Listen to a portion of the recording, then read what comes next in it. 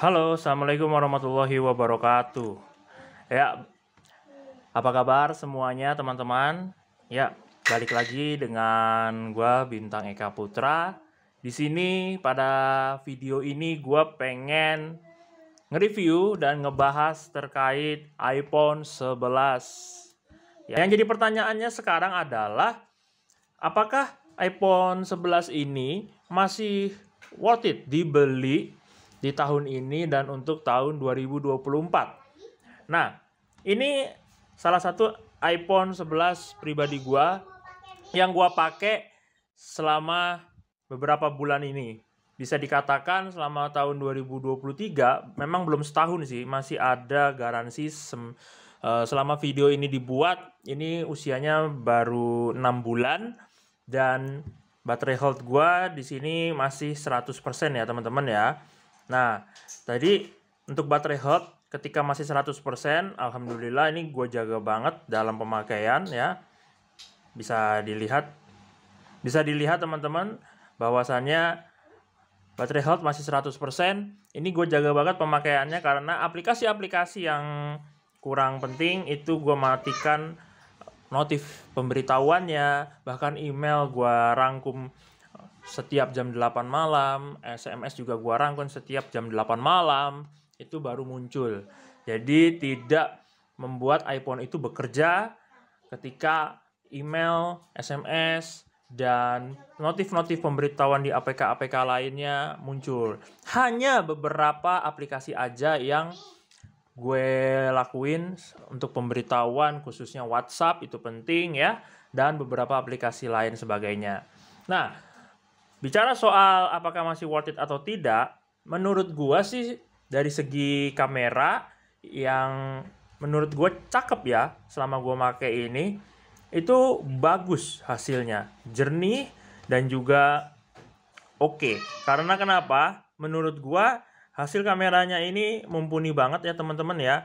Jadi bisa dikatakan hasil hasilnya juga nggak pecah jika kita upload ke sosial media. Meskipun iPhone 11 ini bisa dikategorikan sebagai iPhone uh, yang paling laris ya, tapi menurut gue ini adalah iPhone yang menurut gue bisa dikatakan cakep. Karena dari segi performanya ketika gue main Mobile Legend misalnya ya, itu hasil performanya bagus, tidak lag, tidak patah-patah dan lain sebagainya, semua lancar. Nah, Terus yang berikutnya adalah video. Selain kamera dan game, videonya juga sangat bagus. Hasilnya benar-benar mulus dan suaranya juga terbilang mumpuni banget. Karena kenapa aku bilang mumpuni? Karena hasil suaranya tuh original, teman-teman. Ya, original, tapi soundnya yang diproduksikan atau voice productionnya gede dan berpower. Ya, speakernya juga didukung dengan dua speaker yang sebelah sini nih, ya dan juga yang bagian bawah tuh ya. Nah, jadi teman-teman hasil produksinya luar biasa memang bagus. Dan untuk pertanyaannya untuk nonton video seperti film Netflix misalnya ya. Sorry ini ada ada anak gue. Untuk film Netflix bagaimana ya? Untuk film Netflix tentu sangat memuaskan juga. Hasilnya sangat oke okay ketika gua nonton di ukuran layar segini. Ketika ada segmen adegan yang uh, malam hari ya teman-teman di film Netflix itu hasilnya sangat cerah daripada HP lainnya. Meski padahal ini iPhone 11 ya menurut gue ya tapi uh, layarnya juga masih tidak AMOLED atau tidak OLED ya. Tetapi menurut gue cerah loh ya teman-teman ya. Menurut gue layarnya cerah ya teman-teman. Jadi bisa dikatakan sih lu harus lihat langsung dan merasakannya langsung ya teman-teman. Nah tapi kalau untuk FPS ya, memang kalau yang udah terbiasa 120 Hz uh, itu akan berasa dampaknya ya ketika lu misalnya buka Instagram, lu scroll scroll ke bawah tuh ya. Tapi kalau menurut gua pribadi lagi, 60 Hz itu nggak masalah ya. Nggak tahu kenapa ya. Karena menurut gua 60 Hz itu ya meskipun seperti ini tapi enak-enak aja gitu loh ya. Dan jaringan, masalah untuk jaringan ya 4G. Ini kan gue pakai dual SIM ya teman-teman ya. Nah, gue pakai dual SIM tuh ya. Ada yang fisik ya, ada yang eSIM ya teman-teman.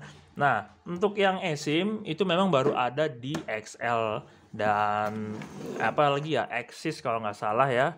Terus untuk pendaftaran eSIM bisa dilakukan di uh, tempat senternya langsung. Nah, ketika gue pakai dual SIM ya, itu enak dan berasa kayak HP Android yang dual SIM seperti pada umumnya.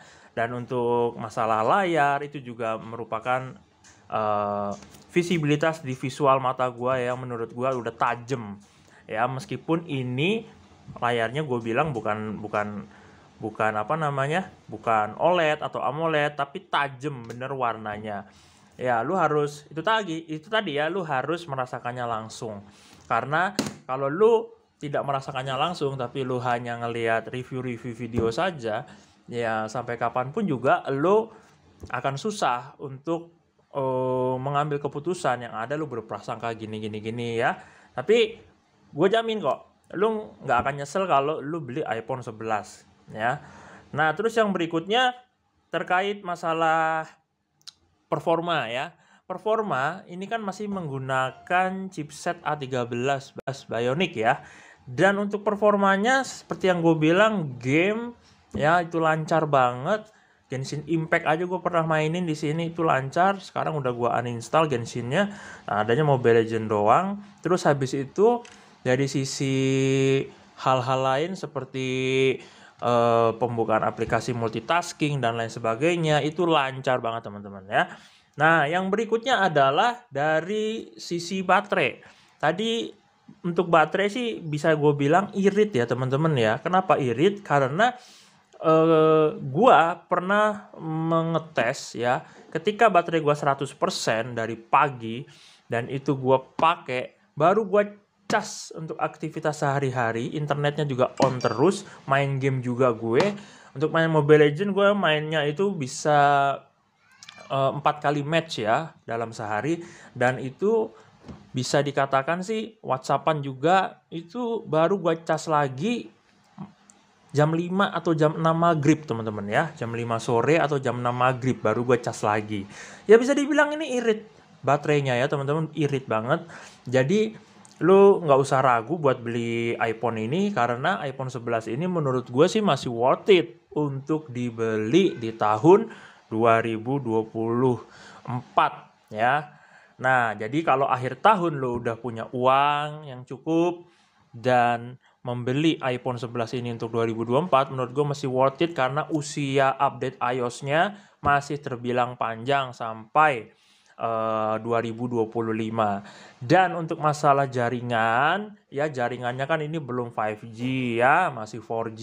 Tapi menurut gue sih karena sekarang masih fase-fasenya 4G 2024 juga feeling gue juga masih bakal banyak yang 4G. Jadi ini menurut gue masih layak dan pantas untuk lo pakai ya masih layak dan pantas untuk lo pakai nah jadi teman-teman satu hal yang harus lo tahu di sini bahwa kesimpulan dari apa yang gue bahas ini selama gue memakai iPhone 11 ini pengalaman gue bener-bener positif.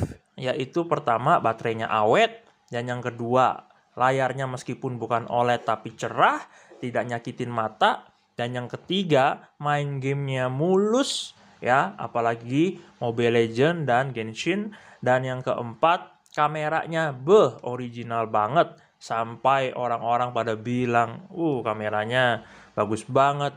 Baik langit wajah ya dan juga lingkungan sekitar. Itu hasilnya bagus.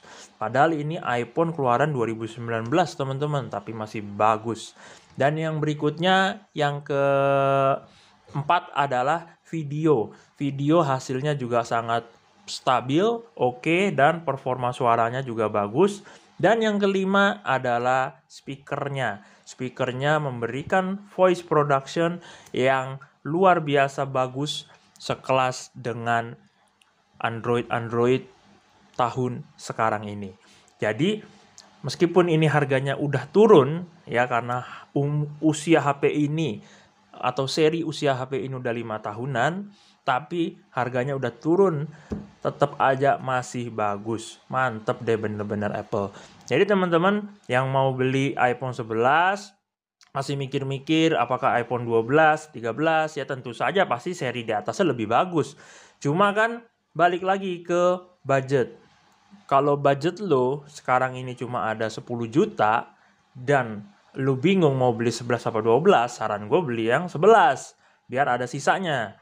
Tapi kalau 12 itu kan bedanya baterainya kecil ya teman-teman ya, tapi udah 5G dan layarnya udah OLED, bodinya juga bagus.